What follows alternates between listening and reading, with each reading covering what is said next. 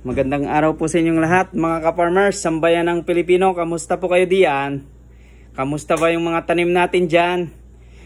Ako po ang inyong lingkod, ang magsasaka. Nandito po ulit ako ngayon para magatid sa inyo ng makabuluhang balita. So ngayon po i-update ko po kayo sa second day of work ng apat nating mga ka-farmers.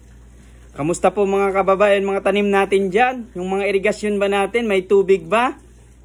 Kompleto po ba sa mga abono? Hindi po ba i- hindi po ba inaatake ng mga ng mga peste yung pananim natin diyan? Dapat po handa po tayong lahat sa anumang mangyari sa ating mga pananim. Gaya po ng dito sa farm, lagi po kaming handa. So ngayon po, ah, kamustahin po natin yung apat nating kababayan na nagsisimula pa lang ah pala nagsisimula pa lang na magtrabaho dito sa farm. So, ito po. Oh, ito po si Jeffrey ngayon. Yung cook po namin. Ano Jeff, kamusta? Kamusta yung trabaho? Alam mo, nakakapagluto pa ako. Akala ko kanina uuwi ka na eh. Alam mo, ano? nakakapagluto pa Pagod ako. ba? Pagod? Sakto Ha? lang. Mga ilang sakong cabbage yung nadali natin ngayon? Siguro mga isang daan yun. O, isang daan or more no? Mahigit, isang daan mahigit. So, anong masasabi mo sa mga kababayan nating nagpupumilit na mag-apply dito? Masarap ba yung buhay magsasaka dito sa Canada? Mag-exercise muna kayo pagpunta nyo dito. Anong dapat nilang paghandaan pagpunta nila dito? Physical, ano? Physical, ano? Physical. Tapos, kung kaya yung emosyon, kasi syempre malulungkot kayo pag napagod na kayo, iisipin nyo, gusto ko nang umuwi.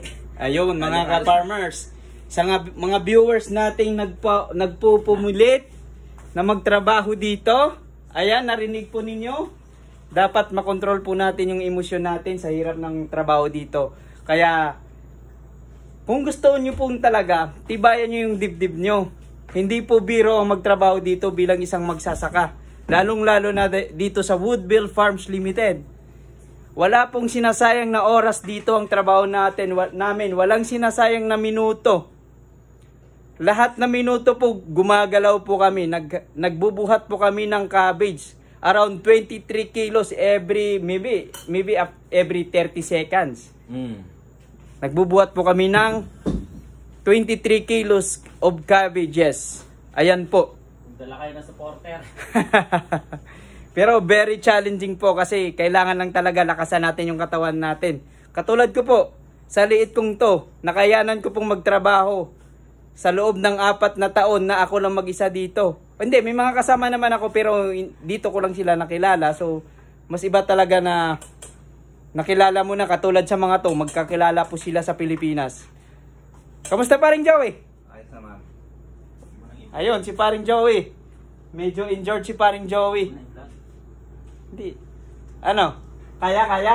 Kaya naman, kaya. Kaya. So, medyo sumakit po yung kanyang rest dahil nabigla sa trabaho.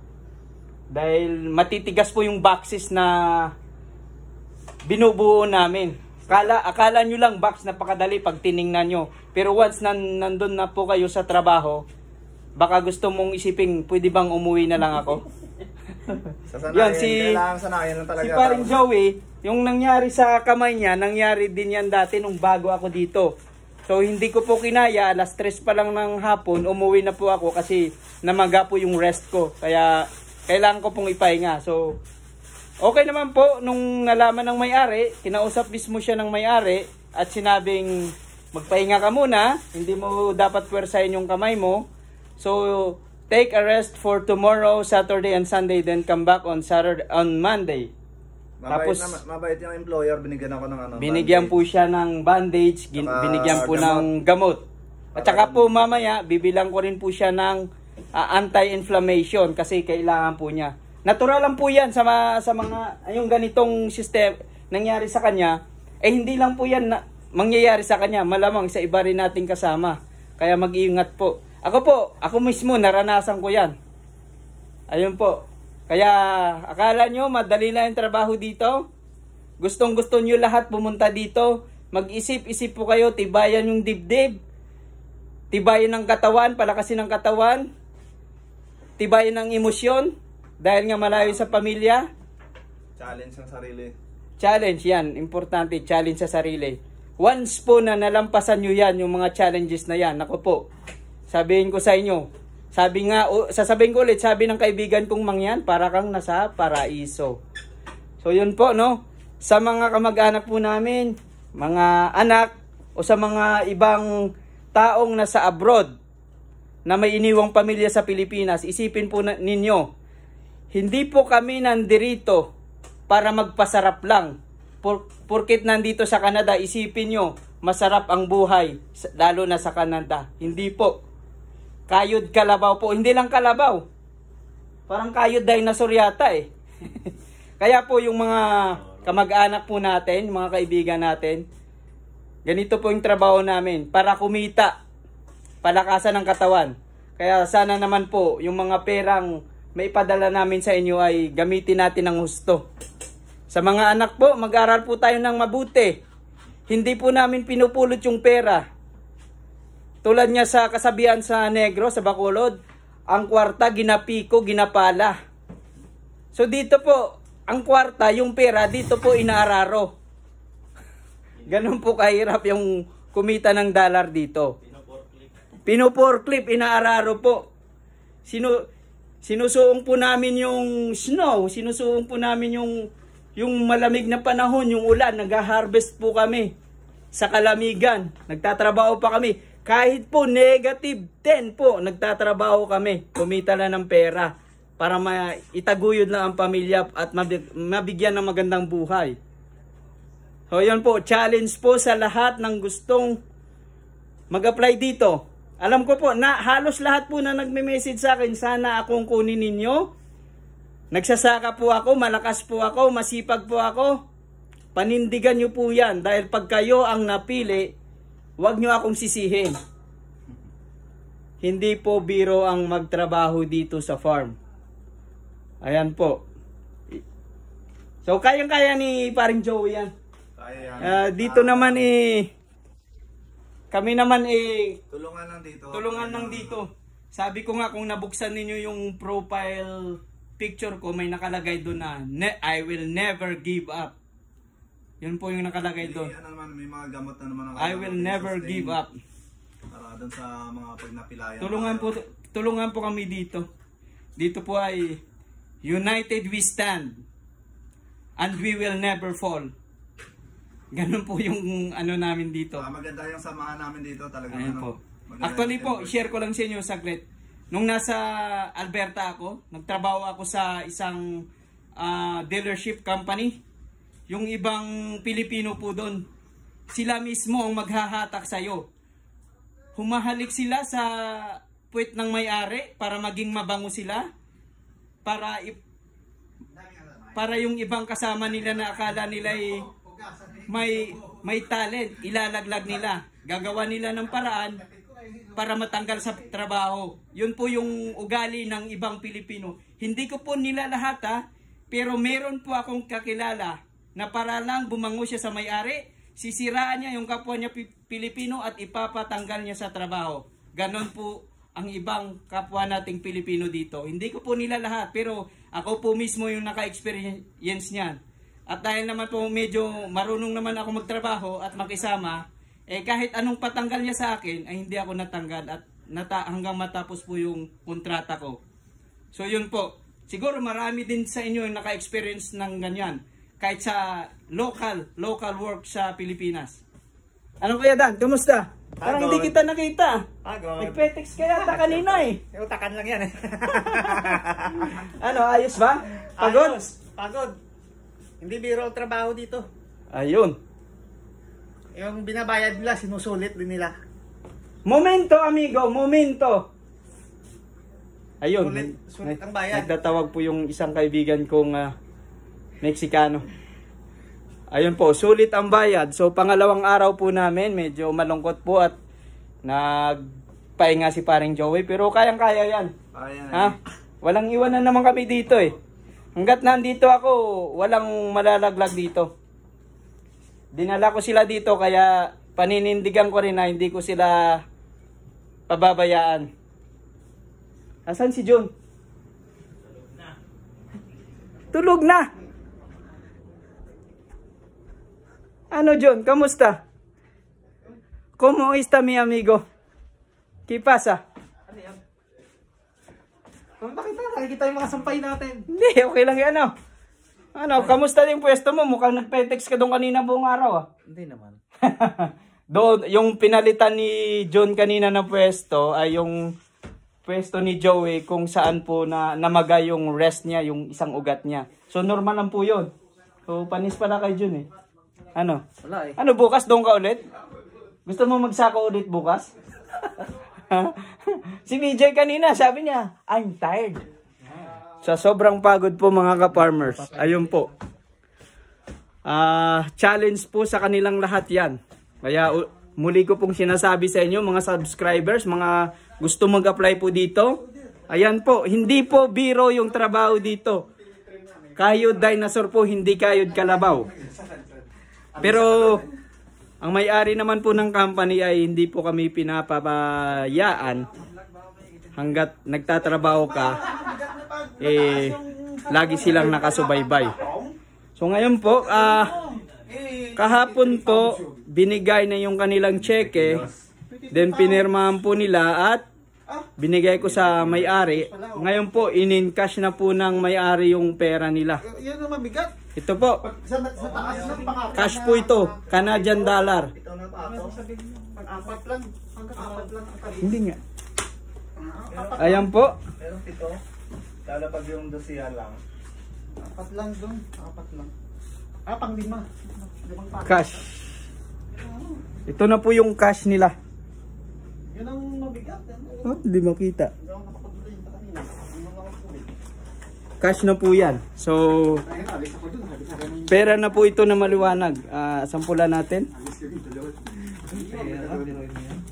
Sampulan po natin mga ka-farmers.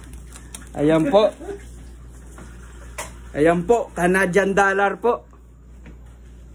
Canadian dollar. Tumataginting po. Akala ko binawas na yung grade yan. Hindi pa. So, cash na po yung ibibigay sa kanila. Ayan po mga ka-farmers. Maliwanag. Napakasarap Jun, Sumahod. days, 9,000. sa pinaghirapan. Ayan po mga ka-farmers. 2 days, Jun, 9,000.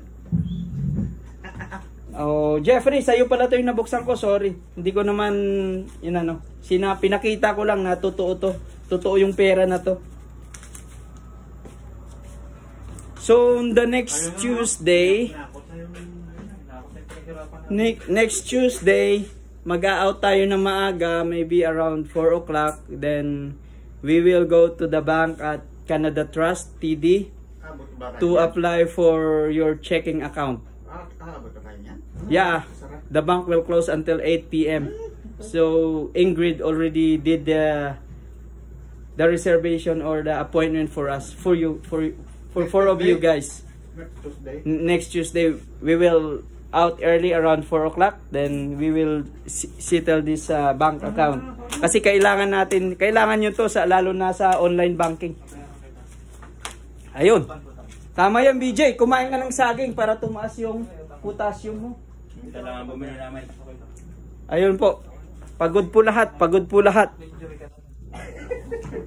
Siguro hindi lang kami yung nakakaramdam dito, pati yung mga iba nating kababayan na nasa ibang bansa na kumakayo din para sa pamilya. Ayan. Joy Boy, ayos lang? Ayos lang. Kayang-kaya? Kaya. Ano John? Ayos lang? Mga ilang kalori na naman ang nabawas sa'yo? Limang kilo. Magaan na ako. So ayan po, nagsako po kami ng cabbages mga ka-farmers. Dalawang trailer, tinuloy po namin yung gawa kahapon. At ito na po yung aming kusinero. Kahit pagod, pinagluluto kami. Ha? Ayan po mga ka-farmers. Sabi ko nga sa kanila. United we stand. We will never fall. Basta tulong-tulong po. Walang iwanan po. Tinanawan mo ng luya? Napagat mo ng luya? Napadam, sabi ko sa'yo, magpikpik ka ng ulit. Takapal mo dyan eh. Hindi na naman bisa yan. Eh, natural yun. So, bukas, Sabado, ah, luya pag- Usually kasi sa ibang company, 5 working days lang yung trabaho nila. Pero sa amin dito sa farm, eh, 7 working days po kami. Or 6 working days. So bukas po, ah, bukas may pasok pa kami from 7 a.m. until hopefully sana hanggang 3 or half day para makapagpahinga rin po kami. Ayan po. Oh, Sabado na bukas. Oh, Sabado na bukas. Para makapag makapag ah, ipon po ulit kami ng lakas. Para sa sunod na araw. Kaya po sa mga gustong-gustong pumunta dito, ayan po. Pinapaalam na po namin sa inyo, sila po mismo. Sila po mismo yung nagsasabi, yung magsasabi kung gaano kahirap yung trabaho dito. Hindi po biro yung trabaho dito. Kaya kung ugali po ninyo sa Pilipinas yung Petex, eh hindi po po pwede dito. Hindi po pwede dito yung Petex. Eh, pupuntahan Ha? ka, tinitingnan kung anong ginagawa Yung may-ari mismo yung magtuturo sa iyo, yung may-ari ng kumpanya ha. Yung may-ari ng kumpanya yung magtuturo Oh, sa okay, inyo. Okay, that's good. That's enough. That's enough. Yun po. Kaya kung Petex po kayo at gusto nyo magtrabaho dito, huwag nyo na pong hintayin na makarating kayo dito Tapos magsisilang kayo. at gawin nyo rin ang magpe-petex. Dahil pag ginawa po ninyo na magpetex kayo dito at nasiraan yung dig- dignidad ng Pilipino, ako mismo yung sisipa sa inyo palabas ng kumpanya. Masakit po pakinggan pero tandaan nyo po, ako ang sisipa sa inyo palabas ng kumpanya. Hindi ma hindi ka man mapalabas ng Canada pero sisiguraduhin ko mawawalan ka ng trabaho dito. Dahil iniingatan ko yung dig- dig- dignidad ng Pilipino dito. Yung pinuhunan kong 4 years, hindi ko hayang masira yon dahil sa isa lang na Pilipino na hindi marunong magtrabaho. Hindi marunong magpahalaga sa trabaho. Dahil po pinagkatiwalaan tayo ng isang Canadian para makapagtrabaho dito, ay wag naman po nating sayangin. Ayan po. Babala ko lang po sa mga susunod na makapunta dito. Mabait naman po ako. Pero babala ko na lang yan sa inyo. So ayan po mga ka-farmers. Mainit yan. Mararamdaman mo ang init yan. Dapat kami naman pag ginawa yan eh. Hindi nilagyan kasi ng salumpas yung binigay nito. Yung salon pa sa mga sakit-sakit yan. Ayan po yung mga Yan. ka-farmers. Medyo konting injury lang po yan pero kasama po yan sa experience sabi nga nila. Hindi ka lalakas kung hindi ka mai-injured. Ika nga ng iba. Kung nagaman kanina, ngayon, hindi na. So mga ka-farmers, hanggang dito na lang po. Magpaalam na kayo mga ka-farmers. Bye guys. Bye.